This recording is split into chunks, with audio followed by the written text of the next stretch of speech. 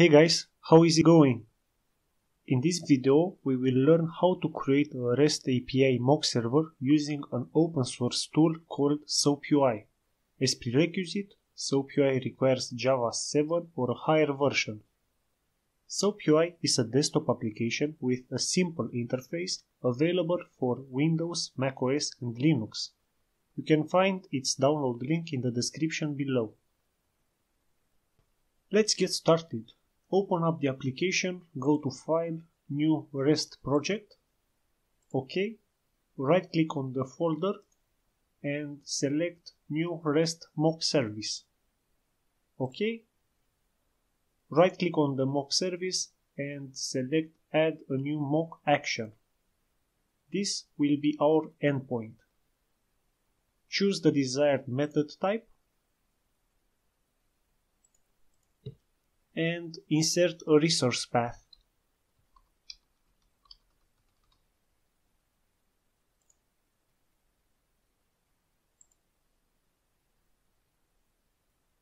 We notice that the endpoint has been created and the last part is to define its response. Right click on the endpoint and select new mock response. OK. Set the desired response HTTP status code.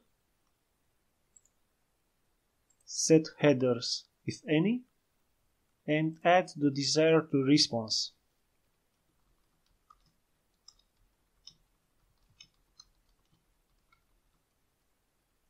That's it. Double click on the mock service and we can see a play and stop button that will start and stop the mock server and also a setting button that allows us to change the running port. By default, it's set to 8080. Hit the play button and the server will start running. Open up Insomnia or Postman and send a GET request to this endpoint. Use GET http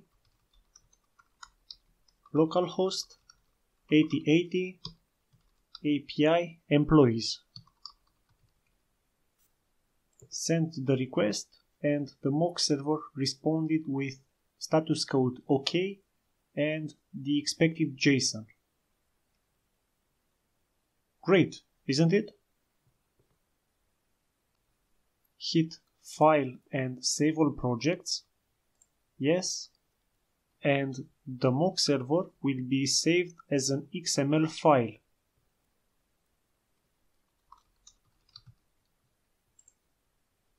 In the next video, we will learn how to run this XML mock server in a Docker container with a simple CLI command. Stay tuned!